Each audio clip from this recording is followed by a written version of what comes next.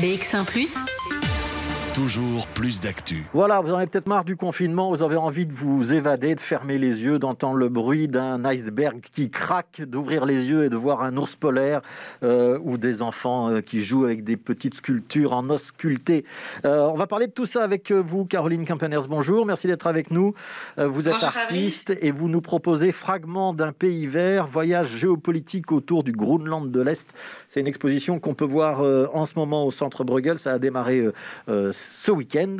Euh, Qu'est-ce qui vous a donné l'envie de partager euh, cette expérience Au départ, pour vous, c'est un voyage que vous avez effectué en voilier au Groenland de l'Est. Ça, remonte à quand En 2019, en août 2019, c'était une résidence artistique d'une association suisse, Marée Motrice, et j'ai postulé pour participer à cette résidence euh, en, décembre euh, 2019. Donc Et ça, été ça- retenue et puis je suis partie six mois plus tard euh, au Groenland. ouais, donc ça, euh, ça se voit maintenant donc au Centre Bruegel, donc c'est dans les Marolles, hein, euh, rue, de Ren- rue du Renard. Qu'est-ce que vous avez eu envie de partager et qu'est-ce que vous retenez de ce voyage? Ben, moi, j'ai été très touchée par euh, la magie de cette terre, euh, son calme, le fait qu'il n'y ait pas beaucoup d'habitants, de voir des paysages à perte de vue, des vieilles roches. Il n'y a pas de, il y a pas d'arbres au Groenland. Il y a, y a de la pierre à perte de vue, des grandes, grandes roches euh, qui font parfois 2 mètres de haut, qui sont comme ça posées euh, sur le sol. Et aussi se dire qu'on marche dans ces paysages qui n'ont fondamentalement pas euh, bougé depuis très longtemps. Ça m'a beaucoup émue et aussi d'être coupée de tout. Il y a des gens qui font des vipassana pour se couper euh, du bruit de la ville, de leur téléphone. Et là, le fait de partir un mois et demi, on n'était pas en contact, on n'avait pas euh, ni Internet ni le téléphone à bord du bateau. On était vraiment euh, tout le temps baignés dans, les éléments, dans la mer, sur la terre. euh, et personne euh, aux alentours avait non plus ce contact avec l'extérieur. Donc c'était aussi ce, ce moment bulle, ce moment euh, exploration euh, interne et externe. Ouais. Alors, vous avez ramené euh, des photos, beaucoup de photos, j'imagine. Il y en a une, euh, quelques-unes qui sont euh, euh, au cœur de cette exposition. On va regarder une petite Mhm. vidéo, on va voir quelques-unes des, des photos. Et puis, euh, je vais demander à tout le monde de faire attention à la bande-son aussi. On en reparle juste après.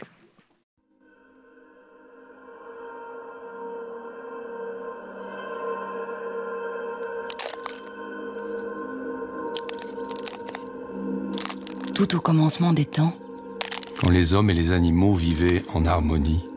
Un homme pouvait devenir un animal s'il le voulait, et un animal pouvait devenir un homme s'il le voulait. Ça ne faisait pas de différence. Tous parlaient la même langue. C'était le temps où les mots étaient magiques. l'esprit humain avait un pouvoir mystérieux. Un mot dit par hasard pouvait avoir d'étranges conséquences. Il devenait soudain. Vivant, Et ce que les hommes voulaient, cela pouvait arriver. Tout ce qu'il fallait faire, c'était dire le mot. personne ne pouvait expliquer ça.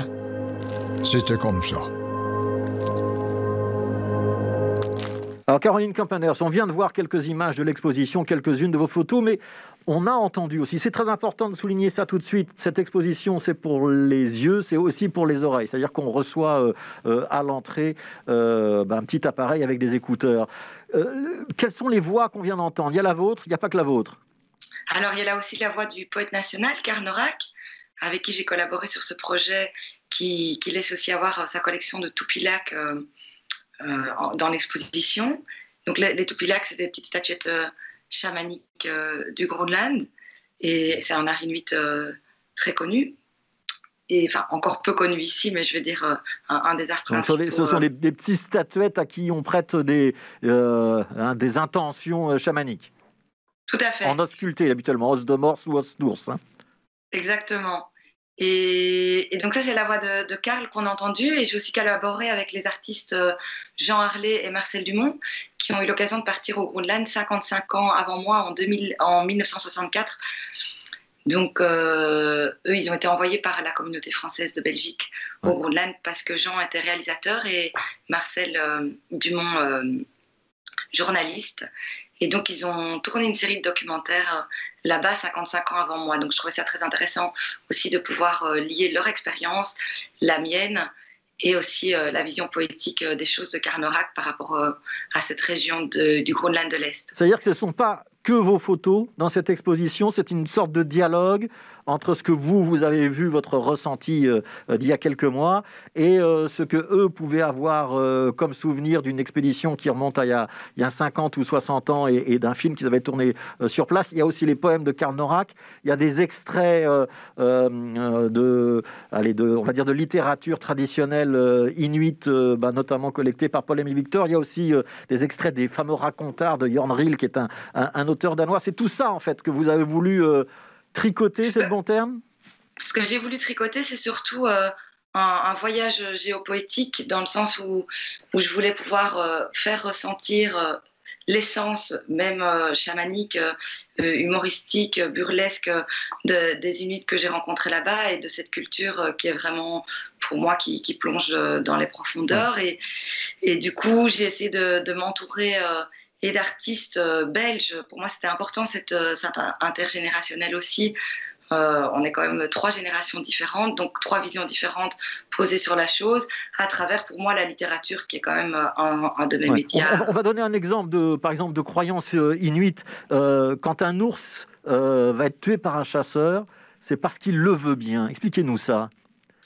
Oui, donc j'ai eu l'occasion de rencontrer Kunuk, euh, c'est le premier Inuit que j'ai rencontré sur place, qui est chasseur et pêcheur, et il me racontait que quand qu'un ours est dix fois plus intelligent que que, nous euh, au niveau euh, dans ses sens, au niveau olfactif, et que donc il peut nous repérer, il peut repérer un être humain euh, très très rapidement. Donc si un chasseur est en train de le tracer, en fait l'ours sait qu'il a un chasseur à ses trousses.